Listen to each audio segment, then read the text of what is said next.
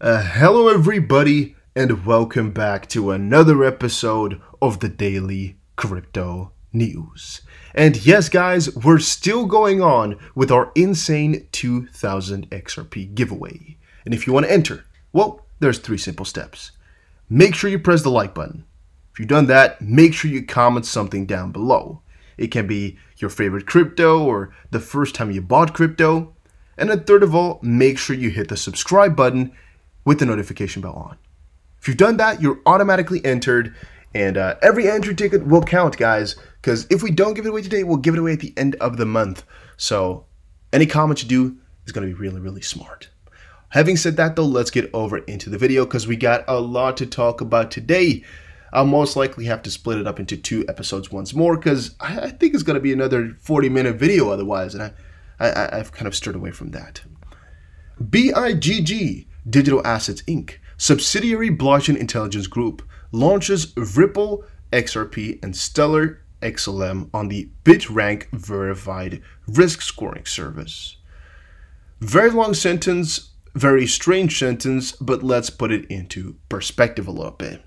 So, yes, this big Digital Asset Inc., owner of Blockchain Intelligence Group, a leading developer of blockchain technology research, risk scoring, and data analytics solution, is pleased to announce that, based on customer demand, Ripple and Stellar have been launched as a part of BitRank Verified.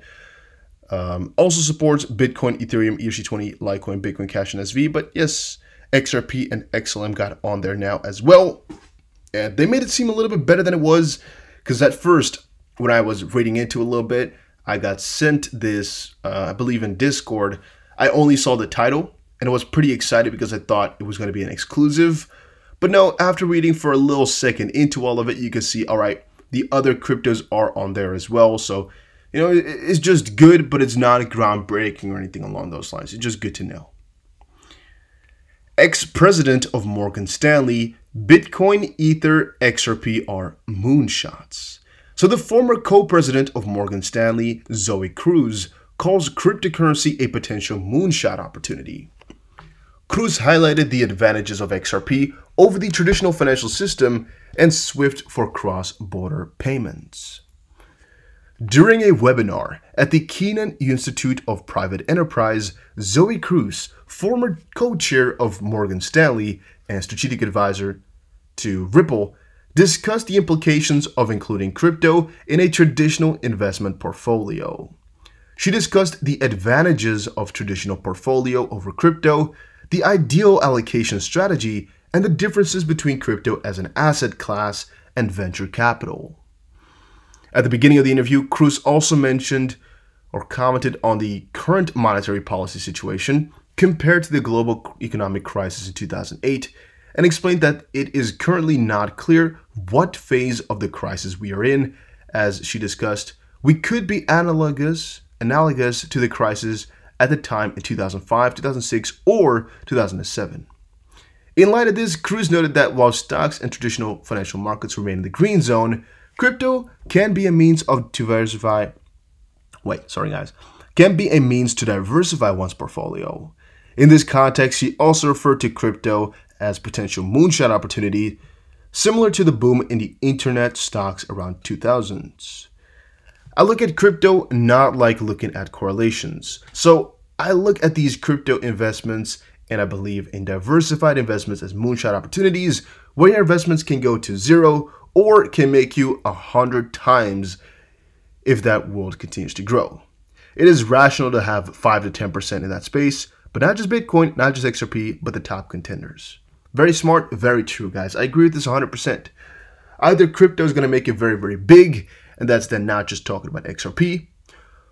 Or we're gonna go home, all right, and be broke as as as can be, Bro- flat broke, just flat out broke, zero dollars in the bank.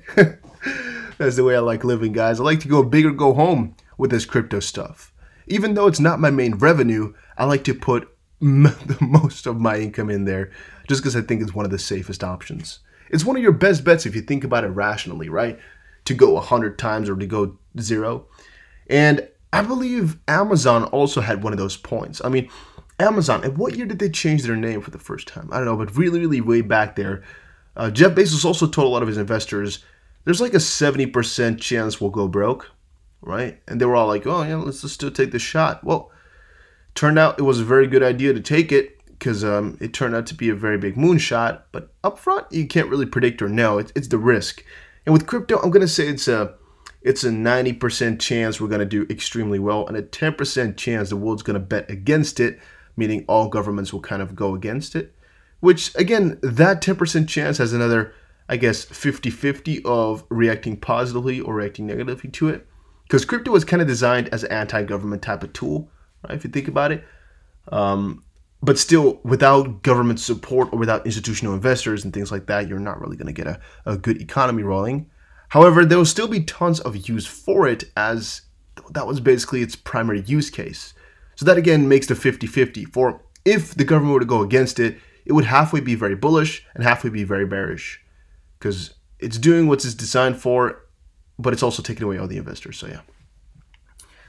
Ripple manager celebrates milestone for PayID, e-commerce integration next. Ripple's PayID has become the most widely used payment method in the XRP wallet Payburner. Co-founder of Ripple, Jed McCaleb, has sold over 11 million XRP on September 13 and 14, and Craig DeWitt said on Twitter, a thousand plus unique PayIDs issued since launch on Payburner. PayID is now the most used way to originate Payburner payments via XRP address. E-commerce integrations coming soon, and basically, what this all means is PayID is a lot more of a success than many people anticipated. And what a lot of people anticipated upon was the fact that PayID was going to be successful, but it was going to go out very, very slowly, as a lot of these places were to have to hop on to allow it. And as we all know, I think that does not really go that fast. Having said that, though, it did, in my opinion, go pretty damn smoothly. And it did go pretty damn fast if you think about it. So, what kind of happened here is Greg DeWitt has shown us all right, a lot of players are, are, are doing this already uh, on paper, at least a lot of individuals. There's use case, there is ask or demand, and there's also more opportunity following, as this is just the start, it's just kind of a trial, it's just kind of a test, and more is really going to be flowing out from this quite heavily um, you can read more about that in this little part, but, but the most important part is just this is just a start, and that McCaleb is dumping, even though I don't really care about that, as I have elaborated on at least 50,000 times.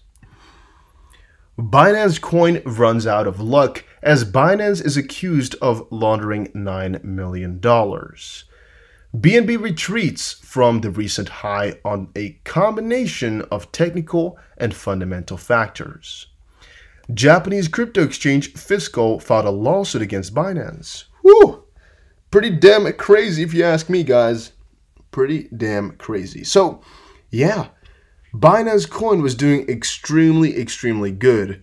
But right now it's fallen down heavier than ever before, mostly on the idea that they could be scamming a whole bunch of money. Yep, yep, yep. However, the tide has changed for BNB. Thus, the or the seller might have been a factory, yada yada. Thus, the Japanese crypto exchange Fisco filed a lawsuit against Binance for alleged involvement in laundering 9 million stolen from Zaif hack in 2018.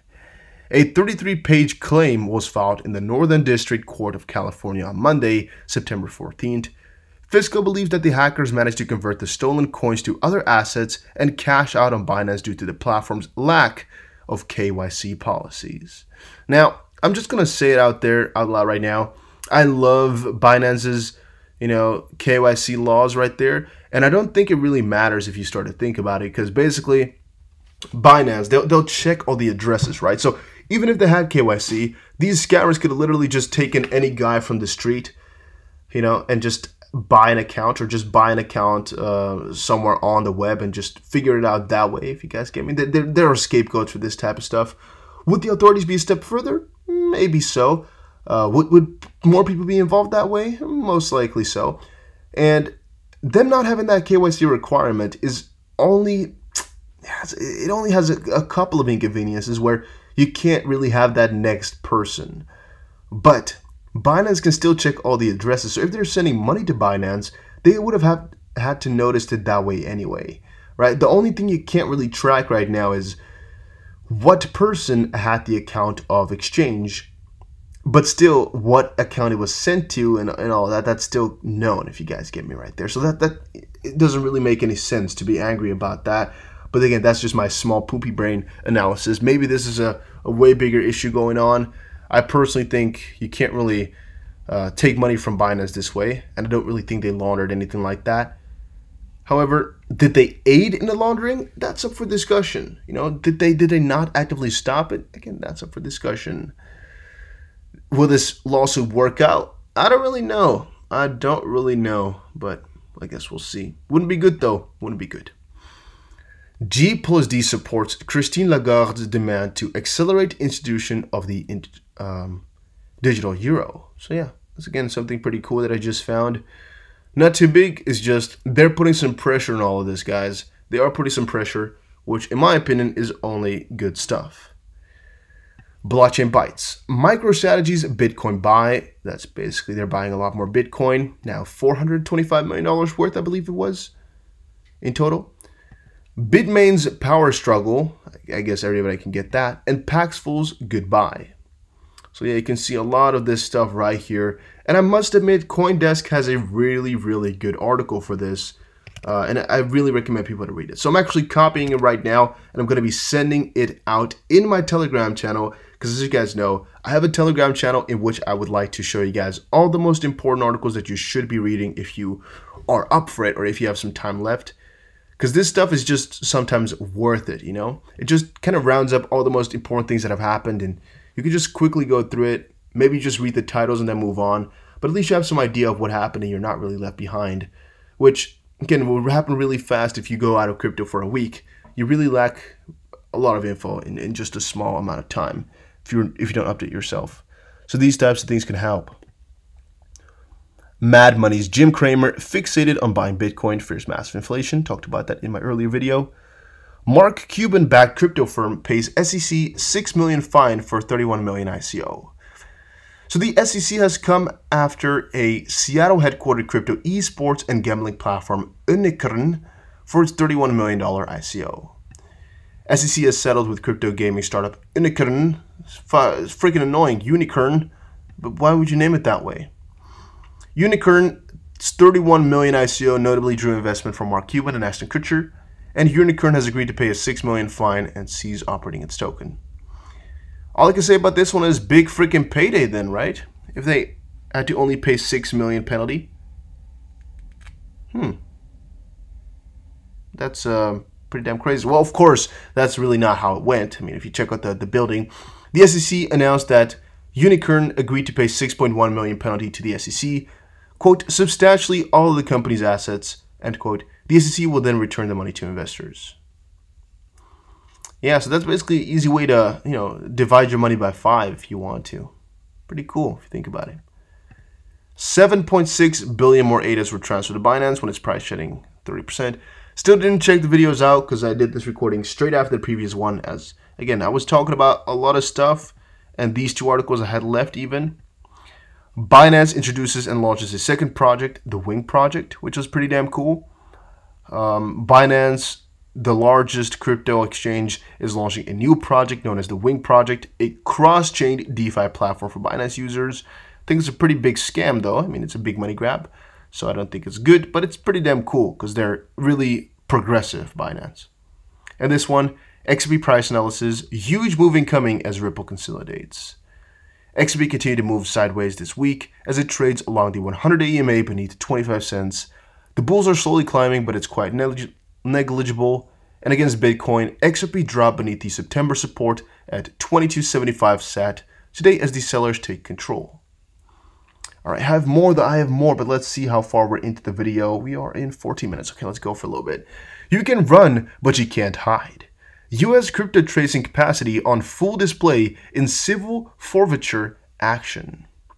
So the U.S. DOJ filed a civil forfeiture complaint detailing two hacks of virtual crypto exchanges by North Korean actors. And whenever I read this type of stuff, I just get so freaking mind blown because if you think about it, we can always blame the North Koreans. Because how are they going to know, right? Uh, they might know about us blaming them, but how are they going to defend? Because nothing that they sent will ever come out to us in our media. So if I were the US government right now, or any other government for that state, for that matter, and I were to hack everything and I would take all the money, I could always blame North Korea. All right? If my my my little uh, let's let's let's figure, let's just you know uh, imagine something here. Let's your little cousin, right, steals your candy. He says it's North Korea. What's what's North Korea gonna say about it? It's only that it's really not believable, but North Korea ain't gonna defend. All right? You can accuse them all, all you want, they'll just accept it all.